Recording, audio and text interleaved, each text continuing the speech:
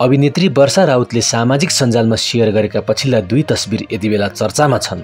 दुई फोटोमा उनको पेट पुटुक्क निस्किएको देखिएको छ। हरियो रङको गाउन र सेतो आउटफिटमा उनी आकर्षक पनि देखिएकी छन्। यो देखेर धेरैले उनी गर्भवती भएको आकलन गरे। फोटोको कमेन्टमा पनि उनलाई बधाईको ओइरो छ। धेरैले उनलाई आमा बन्न लागेको भन्दै बधाई दिइरहेका छन्। वर्षालाई बधाईको ओइरो पनि यतिसम्म आउन थाल्यो कि उनकी आमाले जिज्ञासा राख्दै सोधेकी छन् नानी सबैले बधाई दिएका छन् त। किन हो? वर्षाले आमालाई भन्छन् पेट पुट्टुक्क देखेर होला। आमा भन्छन् घरमा हुँदा देखिएको थिएन। वर्षा भन्छन् खाएर। उनले आमासँगको च्याटको पनि स्क्रिनसट समेत सेयर गरेकी छन्। उनलाई गर्भवती हुँदाको बधाईको ओइरो यतिसम्म आउन थाल्यो कि उनले हैरान भएर स्पष्टीकरण नै दिनु परेको छ। उनले जवाफ दिएकी छन् सबैजना शान्त हुनुहोस् म गर्भवती भएको छैन।